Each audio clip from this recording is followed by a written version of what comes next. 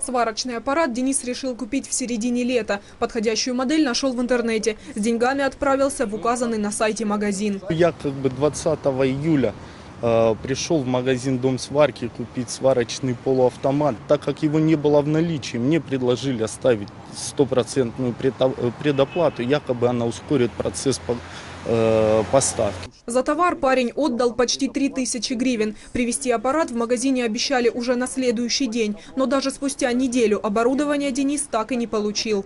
Пошел писать заявление на возврат денег. Когда забирали мое заявление, я говорю, давайте предоплату. Он мне отвечает, что, ну, понимаете, в данный момент в магазине денег нет, мы не храним наличность в магазине. Э, Давайте, как только будут деньги, мы вам позвоним.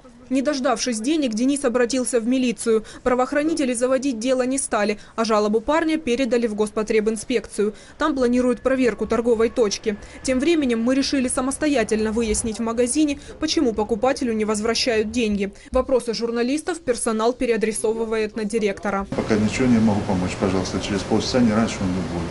У меня его нет, телефон. Подождите, он подойдет. У одного из сотрудников магазина все же удалось услышать маломальское объяснение. Посмотрев документы Дениса, утверждает, к этой продаже их торговая точка отношения не имеет. То есть вы оплату здесь Да, делали? да, да, да, да.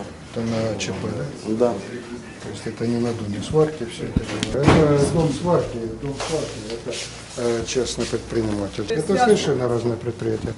Но в Господребинспекции разъясняют, название магазина – только бренд. Под ним работает не один предприниматель, в том числе и тот, на которого жалуется Денис. За 8 месяцев это, наверное, наиболее такая часто встречающаяся фирма, на которую поступают жалобы. То есть дом сварки это э, в среднем ну, по одной жалобе в месяц это так точно приходит. Причем даже не только от жителей Харькова и Харьковской области. Нам жаловались и представители других регионов, это и Донецкая, Днепропетровская область, и Крым, ну, непосредственно Севастополь жаловались, то есть Ильичевск.